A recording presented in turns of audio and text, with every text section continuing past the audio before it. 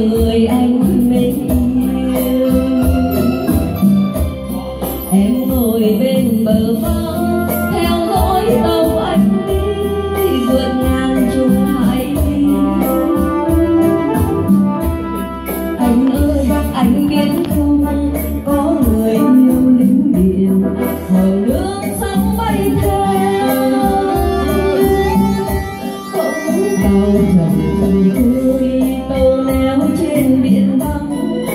bao vùng đất làng hoang nào đầy hoa sinh bao làng tiên kiều diễm, đẹp tựa như cánh hoa. Có nàng tiên đẹp nhất, đem biếu một